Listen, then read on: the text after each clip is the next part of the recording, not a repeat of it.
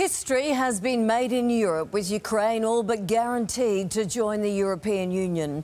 President Zelensky declared it a victory as his country embarks on a new chapter of unity. Our correspondent John Paul Gonzo has the latest. The beginning of a new era as the European family gets bigger.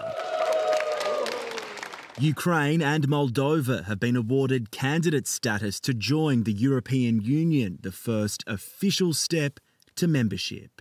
This is a very defining moment and a very good day for Europe today. The EU is made up of 27 countries. Founded in 1951, it's an economic and political partnership where nations cooperate on defence and foreign policy.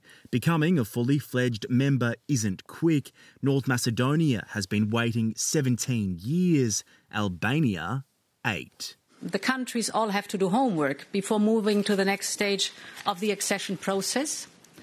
But I am convinced that they will all move as swiftly as possible and work as hard as possible to implement the necessary reforms. President Zelensky is undeterred. Describing it as a victory. We can defeat the enemy. We will win, he declared. With the EU bolstered, NATO is next. The military alliance will consider Finland and Sweden's request to join at a summit in Madrid next week, attended by Prime Minister Anthony Albanese. China appears threatened by NATO's expansion, warning it to stay away from the region.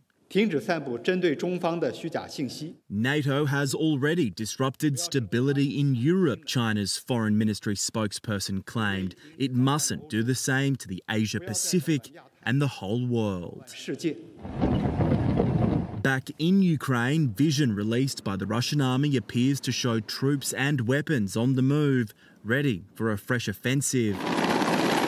Heavy fighting continues in the east, but a brief reprieve in Kharkiv has allowed specialist crews to remove a 500 kilogram bomb lodged in the roof of a residential building.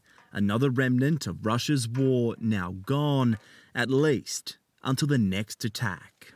John Paul Gonzo for 10 News First, London.